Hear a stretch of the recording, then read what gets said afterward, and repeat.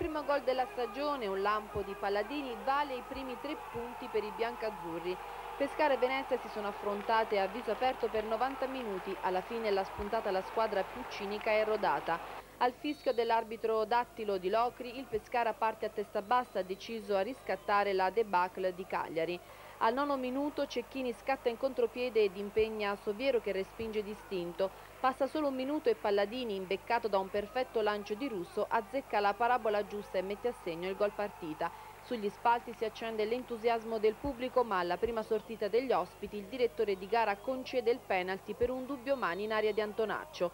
Batte Islas ma Santarelli respinge, una prodezza che segnerà l'andamento dell'incontro. Fino al termine della prima frazione di gioco il Venezia mantiene una sterile supremazia di gioco ma le idee in campo appaiono piuttosto confuse. In avvio di ripresa il copione non cambia. Al quindicesimo minuto Bellè sostituisce Giampaolo apparso in buono stato di forma e pronto a sacrificarsi per la squadra.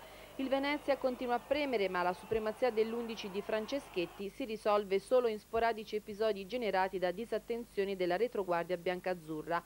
Al ventitresimo Palladini respinge sulla linea di porta un'incornata da distanza ravvicinata di Mazzeo.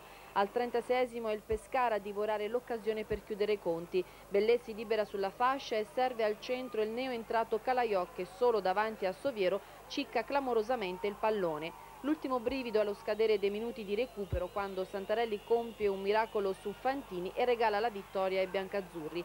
Per il team di Iaconi si tratta di tre punti importantissimi dopo il tracollo di Cagliari all'esordio. In campo si è visto un Pescara determinato e concreto, sorretto da un pubblico generosissimo che non ha smesso di incitare i propri beniamini per tutti i 90 minuti. Certo che Cecchini lì davanti è apparso davvero solo, sovrastato dai difensori avversari negli ultimi lanci lunghi che il centrocampo gli forniva. Calaiò potrebbe essere la spalla ideale per dare più peso all'attacco biancazzurro. Per il resto, Palladini e Santarelli a parte, è da sottolineare la prestazione di Stella, generoso e preciso sulla fascia destra, è stato una spina costante nel fianco del Venezia.